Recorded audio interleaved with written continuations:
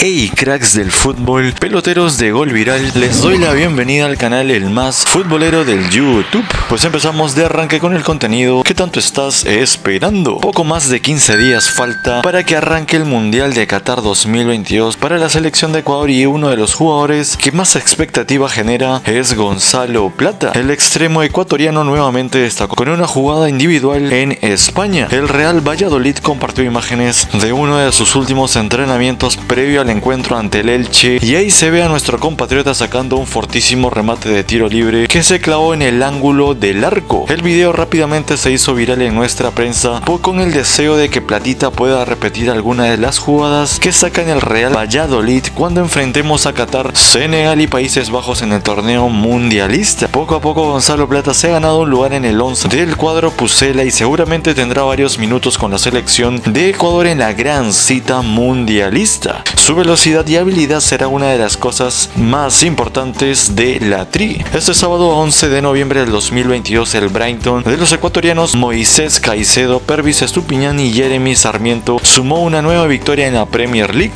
Las gaviotas tuvieron un gran encuentro y se llevaron tres puntos de la cancha del Wolverhampton. Una vez más la figura destacada del Brighton fue el ecuatoriano Moisés Caicedo que sin duda está pasando uno de los mejores momentos de su carrera. El jugador tricolor volvió a ser el eje para sus compañeros y desde sus pies se crearon algunas oportunidades de gol y se evitaron otras. Entre las jugadas más destacadas de Moisés Caicedo está el espectacular quite del ecuatoriano sobre Adam Traoré en el segundo tiempo. Moy vino desde atrás con su gran velocidad y sorprendió a uno de los futbolistas más fuertes del mundo para dejarlo en el suelo. Gran nivel para Qatar. El buen nivel de Moisés Caicedo y Parvis Estupiñán sumado al regreso de Gonzalo Plate y la regularidad de Piero hincapié supone una gran noticia para Ecuador de cara al Mundial de Qatar 2022. Los jugadores ecuatorianos quieren hacer la mejor participación en la historia del país en este torneo. ¿Y tú, opina qué te pareció la noticia más importante del día de hoy? ¿Crees que Gonzalo Plata y Moisés Caicedo destacarán en Qatar 2022? Comenta en la parte de abajo y nos vemos en la próxima.